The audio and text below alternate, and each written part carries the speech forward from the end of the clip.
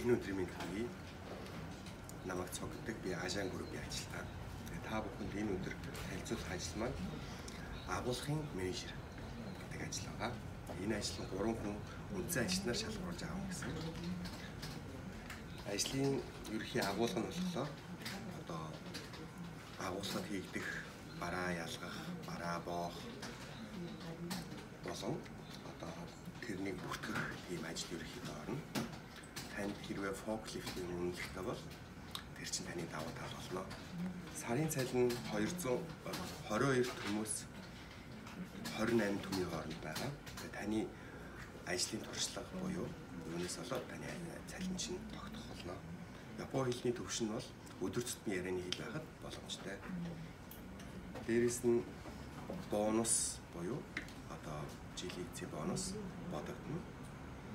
Тэгээд одоо шаардагдах одоо янз бүрийн сертификат тийм бол онцгийн юм шаардлагууд байхгүй. За та бүхэн энийг хэрвээ хүсэж байвал манай компани одоо ажлын өдөрлөгт ирэх боломжтой. Манай ажлын өдөрлөг нь болохоор 7 хоног болгон явагддаг. 7 хоногийн нэгд өдөр, 3 дахь өдөр, 5 дахь өдөр бол өглөө 11 цагаас 11 цагаас болж байгаа ажлын өдөрлөгт оролцох улсууд